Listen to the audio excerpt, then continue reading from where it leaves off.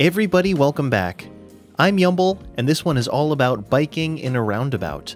Not my usual fare, I know, but I've seen it done well. Not so much in city skylines generally, but I've seen it done very well by the by the Dutch.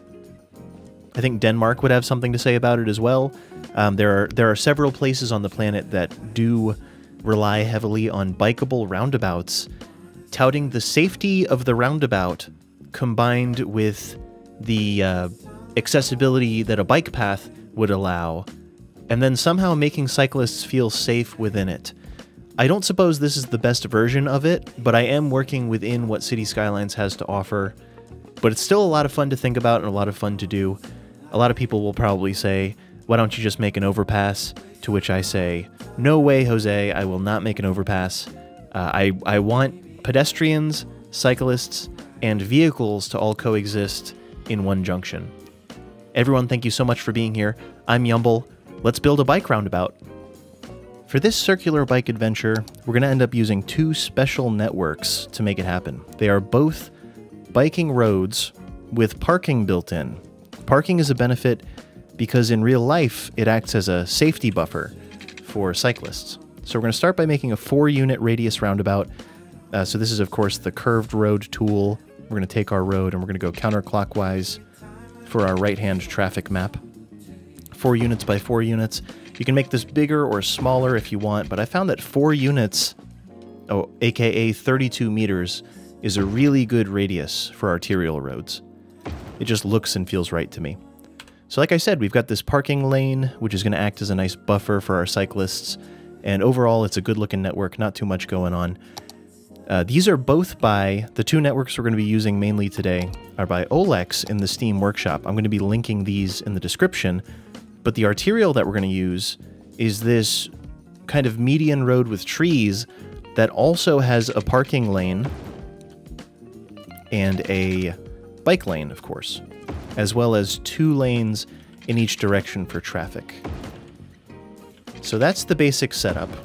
I've got one of these that I've already implemented in a more uh, specific to the map configuration, but if you're starting fresh, this is exactly how you'd set up a roundabout. To set up a roundabout functionally in City Skylines, it's not very difficult. You just go to Traffic Manager, it's a mod from the Steam Workshop, very popular one. Go to your priority signs, hold the Shift button on your keyboard, Control, and then click it, and that is literally it. It is functionally completely set up at present. Um, I do want to turn on the crosswalks, not visually, but functionally. So these settings, your roundabout settings, etc., any any settings that you use from Traffic Manager are all in your uh, the pause menu options, Traffic Manager. You can go to uh, let's see, probably policies. Yes, at junctions, on roads, roundabouts. I've checked everything off. What I really want to do is uncheck. There's going to be one. Pedestrians shall not cross approaching the roundabout. I do want them to be allowed to cross. So I'm going to uncheck just that one button, reset the roundabout. Um, the, the thing that I did manually was just automatically done, but those are the settings that I'm using in Traffic Manager to make this happen, as well as shift control clicking to set up a roundabout. Now we're, we're going to go in with a different mod called Node Controller, and we are going to visually deactivate these crossings because we are going to make some nicer crossings later. I would also recommend extending these a little bit. Maybe we'll do like a lot. Maybe we'll do like 18, extend the entire, or uh, extend the offset to 18 meters, and then maybe we'll reduce the yellow one down to whatever looks good, like 12. 16 and 12. So I'm going to go around. I'm also, I've turned on auto slope for these, so you can see I'm on kind of a raised, um, hilly surface. If you let the node be sloped, the whole thing looks a little less awkward. So I'm going to go in and we're going to manually turn off the markings. This requires a separate mod called Remove Traffic Manager Markings. So if you have Node Controller uh, Revisited, I believe it's called Node Controller Revisited, the current version, you can turn off the markings if you have remove cross remove TMPE crossings. Beautiful. So this is a perfect jumping off point for the whole thing. We've got a, a functional roundabout that's ready to go uh, with functional roads meeting it, and, and traffic manager is all set up. Now I'd like to dive in and make some intersection markings to really bring this thing to life and show how I, uh, the best way that I think you can make a bike roundabout in City Skylines. Okay, here's the tricky part of the whole thing. We're to go to Intersection Marking Tool and select our first junction. Now, once we've filled this one in with markings and fillers and everything, we can then copy it and paste it on all sides. But we've got to get this right initially. So I'm going to start by doing these. I'm just looking at where the bikes are going to go initially. I've already taken the time to move these into place. If you hold control, you can move each of these around and align them with the texture that's already on the, the network that we've chosen. So that's pretty cool. So be sure to hold control to move those into position. But first I'm focusing on the bike lanes. I know that those are going to be a thing. I also know that we're going to need lines on the exterior. Though we can't see them, we're going to use that for fillers later, so that's important. Anything that doesn't seem to make sense will hopefully make more and more sense as we as we go. Um, I'm also going to continue this protected lane. So this parking lane is going to become our curb. I'll show you that shortly as well. I also know that the right lane here is going to be forced to exit into either lane, so with that knowledge, I can force them to exit visually. Traffic Manager is what's actually making it happen functionally in the game, but Intersection Marking Tool is what gives us that visual cue, so so the markings match up with the um, with the reality of what the what the simulated traffic is going to be doing. Once again, holding control to move those into place. Now, let's think about this. This lane is allowed to continue on. So that's fine. We'll leave this all open. But they can also change lanes here. So I'm going to allow them that space. Because of that, we'll end up with a bit of an asymmetrical shape here. Big funny looking island. But that's okay. That's a good thing. Oh, you know what? I've forgotten our crosswalk. Here is one of my favorite newer features of Intersection Marking Tool. If you've ever built markings before and forgotten the crosswalk, you know how painful that can be. Here's the best thing the best new feature about it, I think. Hold shift to create your crosswalk. So I've clicked them both in. That's awesome. Now I'm going to go to additional, so top right corner of the intersection marking tool window, and we're going to hit cut lines by all crosswalks. Watch this. Boom.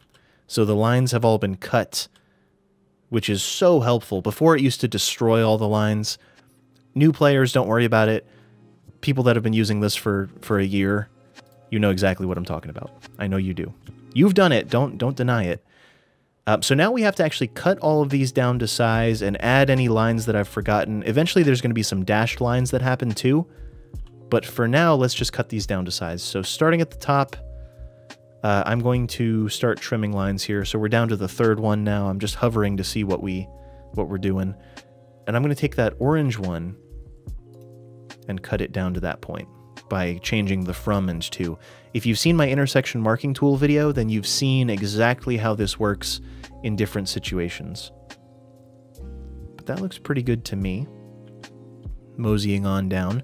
So we're going to cut this one as well, starting from that green from point. We're going to move that down out of the way of the bikes. Very good.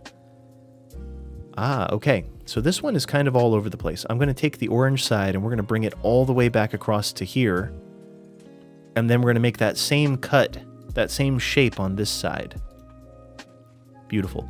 I'm holding shift to make a straight line. I don't, or a, uh, a line as opposed to a dashed line, if you know what I'm saying, a solid line. So if it looks like I'm not changing the style, I, I am by using the shift key. There's modifiers you can use for this. This one appears to be blocking the bike lane.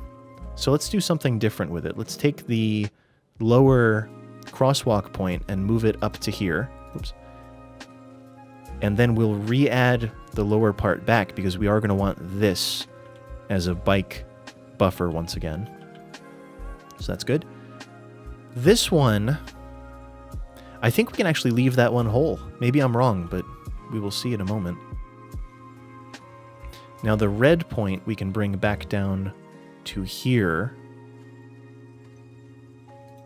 and then also add a rule here. Ah, I've lost part of my bike lane. Where has it gone? So I'm going to hit add rule on the on the upper bike lane line and re-add that. Intersection marking tool is one of the most fun things, I think, but some of you may want to skip it if you're if you don't feel like it. Really, a lot of the the safety of this is visual in nature. So this is for us, not so much for the Sims in the game. It's just for us to look at, marvel at, enjoy. So let's take this one down, and then we'll re-add this line back. Now we're in the home stretch for solid lines. It'll be fillers and dotted or dashed lines in just a moment. So this one is in the way of the cars. So let's move that right dot back a little ways. Cool. And this one is clearly blocking traffic as well. So let's cut this one all the way back to here. We'll cut the right side here because that's blocking the bikes. And we'll re-add all these more central ones as well. Add the rules. Cool. Have I forgotten anything? I'm I'm sure that I have. And I'll remember it when it comes back to me. Oh, I want to add lines down here across the crosswalk. That's actually this node up at that this line up at the top. This was added as just an empty line that defines the crosswalk, but we're going to add rule and just close these off because it, it'll look a little bit cleaner when we go to do fillers, I think. All right, solid lines are done. It's time for fillers. You can hold your Alt button to get the fillers going. Have I lost my mind? There it is. Hold Alt. Now let's start with this one. I know this is going to be bit of a pavement island, so let's do all the pavement islands first. I have a mod called Curb Height Adjuster, and I've adjusted all my curb heights to 15 centimeters. This one is at the stock 30 centimeters, which is outrageously high when compared to a 15 centimeter curb. So we're going to change the elevation using the scroll wheel. You could also type in these values. Uh, I'm going to hold control to do a finer adjustment. Now we've got a 15 centimeter elevation, and I'm going to copy that for future reference because we're also going to need it here. And I don't want to make that adjustment every time, so now we can paste it in real easy. And here, paste it in. Another one here.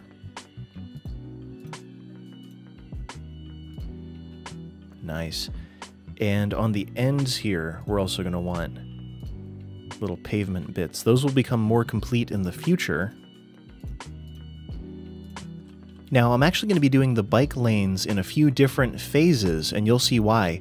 We want some of them to be solid and I want some of them to look like crosswalks, kind of a zebra, a zebra pattern of the of that greenish bluish pigment that we're going to match shortly. So it's going to be a few different fillers actually. Starting here at the bottom, we're going to make a filler on the left side here. Oh goodness. Yep, I think that's exactly what we want. And let's try to get a good color match first, and the rest of this will go very, very smoothly. I'm going to turn this into solid, but we're going to change the color of this one to kind of a greenish, bluish color to match this. And we're going to turn the alpha channel way down so that you can see the, the pavement through it, just like you can on the, the actual markings there. I think it's pretty easy. Once you've got your alpha channel in the right place, just kind of triangulate visually lighter, darker, match it as close as we can. That's pretty good, but I think the alpha channel is still a little too high. I think I think we just need to adjust this a little bit more. Right about there. That looks good to me. I may come back and adjust it later, but that gives us a really good starting point at least. And I'm going to copy that entire filler. So that, that will give us the solid style and the color and we can go to the other side and make the same change. I want the center to be solid also.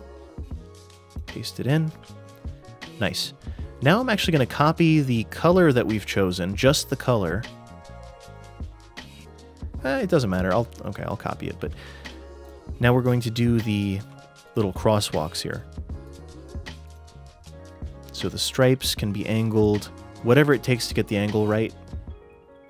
Just kind of perpendicular to the to the whole situation. Yeah, something like that. That's fine. And then we will paste in the color. And there it is. We'll do that one more time over here. Now let's do some dotted lines or some uh, dashed lines for the cars. I see two spots where we're going to want these dashed lines. One is here.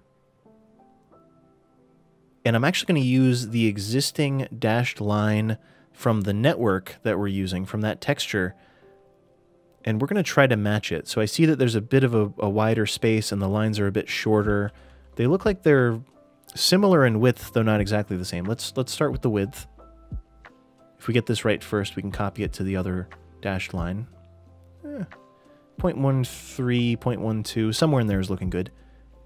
The dash length should be a little less. That looks good. And the space length should be a little more. A little more, even.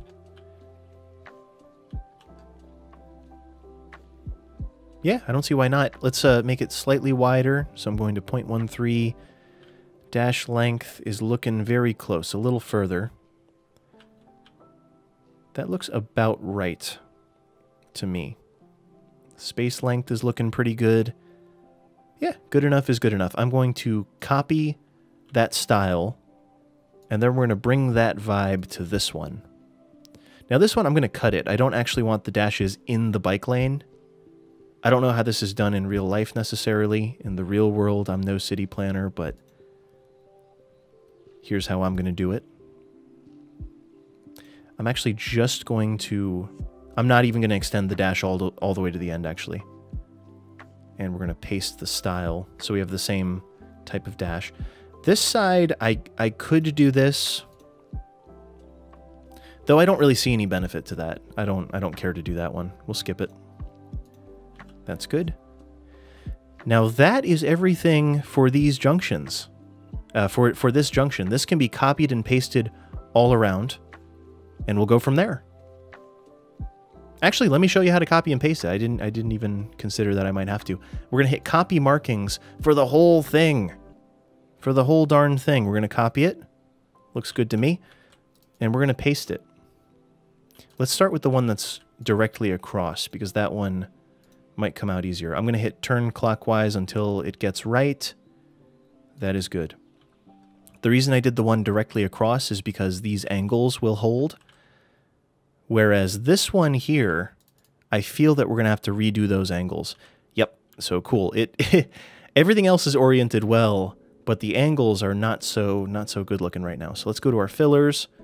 You can see visually in the little bubble on the left there. And we're going to rotate this by about 90 degrees probably. Uh, yeah, turn that one to zero. And we'll turn the other one to probably also zero. Yeah, looking good. Now we can copy that new iteration, paste it in, rotate it, check it off. Beautiful, beautiful. This is good. This is very good, but you'll notice that our barricade, our, our curb here is incomplete. So let's do the curb. Uh, I'm going to make two lines here on this segment, and we're going to align the ends so that they're awesome, hopefully as close to centered on this as we can. And I'm looking at the outer edge. Really, we just want the outer edge to be about optimal. Because we are going to be putting that filler onto this one. That same pavement filler that you can see on that corner. Very cool. So that looks good. Let's grab one of these one of these fillers. So go to filler, any of the pavement ones, they're all the same. Copy it. Go to the segment here. Filler. Hold Alt to make the filler.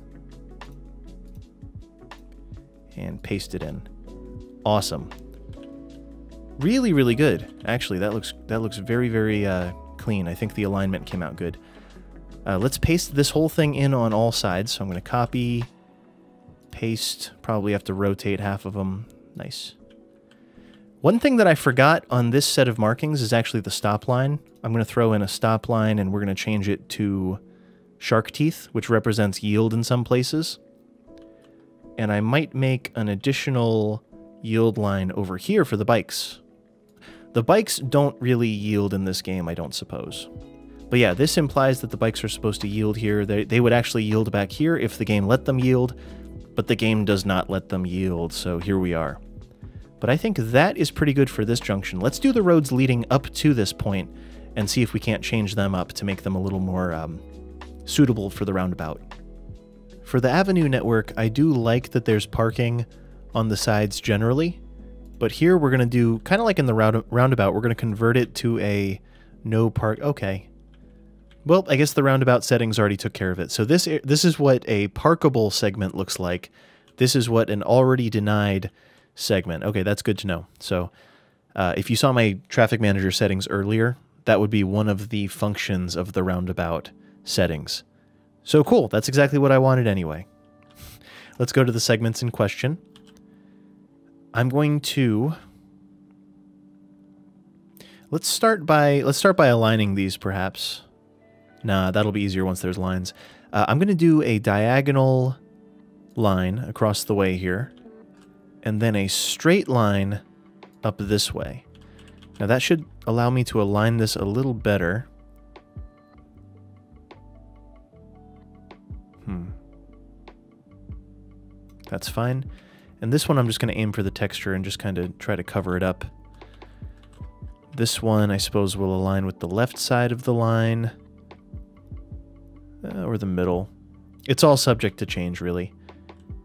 Cool. I'm also going to do another line here which will give me a good way to, once again, holding control, you can move these into place. That one's already good. Cool. So I'm going to do two separate fillers here. One of the fillers will be pavement, just like the, the piece next to it. Here you'll see in a moment. So holding Alt, make a filler. What we're going to have here is really just tapering off pavement. That is the exact one. Perfect. I still had it on the clipboard. We love that. So that is tapering off pavement to signify that parking time is over. You're done. Don't park next to the roundabout. You'd be weird. On the left side, we're going to do something similar-ish but different. I want to do some angled angled bits here. So maybe like 45, yeah. Whatever's good. That's, yeah, 45 is fine. So this is just to further signify no parking here, is all I'm trying to say. I don't think I can add a line crossing this, so there's really no way to, to line that out. But that looks good to me. I did not get into this. I, I showed up for the city building and stayed for all the other cool stuff you can do in this in this darn game. That's great. So cars can park all along the way here, protecting the bike lane in the process. And then we have this nice curb within the roundabout. I'm going to call that good. Let me copy this to the other sides and we'll see how it looks. Well, I think that came out great. I'm very happy with it. I don't think that it is the safest roundabout on the planet by a long shot, but in terms of what's possible in city skylines without going totally nuts with, with uh, mods and things, I like how in my mind, this did not include me going nuts with mods. This was like a normal amount of mod usage but you can probably do a safer IRL style roundabout, but you'd have to you'd have to change things up quite a bit. Um, this is the I think the old style of Dutch roundabout, as it were. There's another one where the bikes cross right next to the pedestrians, just inside, and the bikes walk along with the pedestrians, as they kind of do here, and then the bikes yield. This setup would sort of rely on vehicles to yield to the bikes which is not possible in city skylines. So I'm I'm kind of trying to work within what is preferred in real life weighed against what is possible in city skylines. And I think that this kind of hits the sweet spot. I do like having the bike lanes built into the network. I love having the parking lane, which you can convert into a curb. I think that is what makes this whole thing really great. So taking the curb and ending it, taking the parking lane and choosing to end it for a curb is what makes it work. And then you get this entire protected area where, unless the car jumps the curb, the cyclist can feel safe as they traverse this thing with um, with islands to boot as well. Pedestrian islands, bike islands. Um, I, th I think that's about as good as it gets for city skylines. Everyone, let me know what you think about this one. Let me know if you've seen a better one in City Skylines. Feel free to put that in the Discord if you like. Um, definitely subscribe here if you like City Skylines content. I try to make two videos a week. Also, I stream twice a week on Twitch. Everyone, thank you so much for hanging out. I've been Yumbl. I'll see you in the next stream or the next video.